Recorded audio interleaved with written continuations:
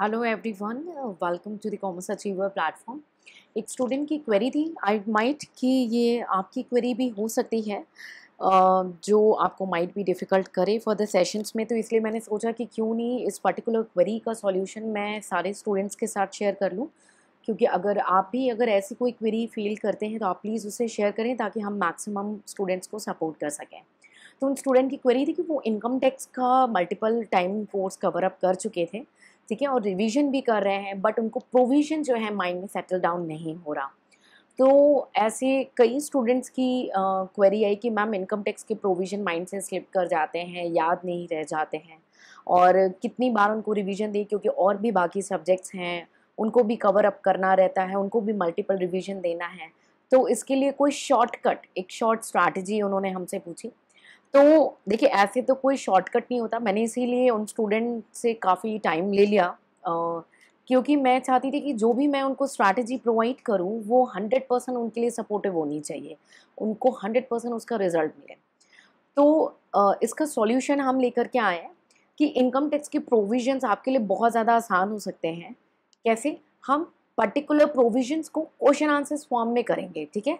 ताकि जो छोटे छोटे बहुत ही पिन ड्रॉप पॉइंट्स हैं जो आपके अगर माइंड से स्लिप हो जाते हैं तो उससे पूरा पूरा क्वेश्चन आपका रॉन्ग हो सकता है कंप्लीट न्यूमेरिकल आपका रॉन्ग हो सकता है। और अगर आपका कोई जनरल एप्लीकेशन है तो कई सारी मिस्टेक्स आपको देखने को मिल सकती हैं।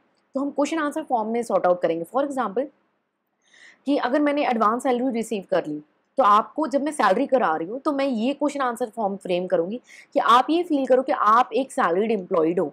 और उस तरीके से आप उस क्वेश्चन को फील करो और उस आंसर्स को एक स्टोरी के फॉर्म में अंडरस्टैंड करो।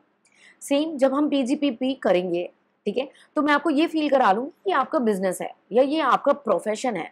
तो आप जब खुद का ये मान करके करने लगोगे तो ये मैंने जो अपने रिसर्च बेसिस में ये फाइंड आउट किया, ये रिज़ल्ट देखा मैंने कि स्टूडेंट्स की मिस्टेक जो है 99 परसेंट निलिजिबल हो जाती है, ना के बराबर रह जाती, केवल वन परसेंट है भाई ऑब्वियसली देर आर की प्रेजेंस ऑफ़ माइंड भी डिपेंड करता है उस पर्टिकुलर सेशन में, मैं उनसे क्या पूछ रही हूँ या टेस्ट कैसा हो रहा है, ठीक है? वो उस पर निर्भर करता है, ठीक है? तो ये सेशंस मेरे हिसाब से आपके लिए काफ़ी बेनिफिशियल होने वाले हैं और मैं इसको आपके साथ शेयर करूँगी रेगुलरली जितना रेगुलर हो सकेगा मैं आपके साथ शेयर करूँगी बट मेरे को आपसे रिक्वेस्ट है कि आप इसको अपने लिए इसको एग्जीक्यूट करें और अपना रिस्पॉन्स मुझे बताएँ कि क्या ये एक्चुअली में आपको हेल्प कर रहा है और अगर जिन स्टूडेंट्स को नहीं कर रहा है मिनिमम ट्वेंटी वन सेशंस आपको अप्लाई करनी है ऑन द रिसर्च बेसिस और अगर आपको तब भी इसे सपोर्ट नहीं मिल रहा या कितना सपोर्ट मिल रहा है या और क्या आपके व्यूज़ हैं, आप उसे डेफिनेटली शेयर करें ताकि ये जो प्रॉब्लम अगर आपकी है या आपके नोन में किसी की भी होने वाली है इनकम टैक्स प्रोविजंस को लेकर के, उसे हम परमानेंटली रिड्यूस कर दें परमानेंटली एलिमिनेट करने की पूरी कोशिश करें, ठीक है? So I hope I can help you in this session Hindi English दोनों में ही कोशिश करूँगी कि कंटेंट आपको प्रोवाइड करूँ पीडीएफ के फॉर्म में, ताकि आप उसे रिवीजन के लिए भी अपने साथ रेफ़र कर सकें, ठीक है?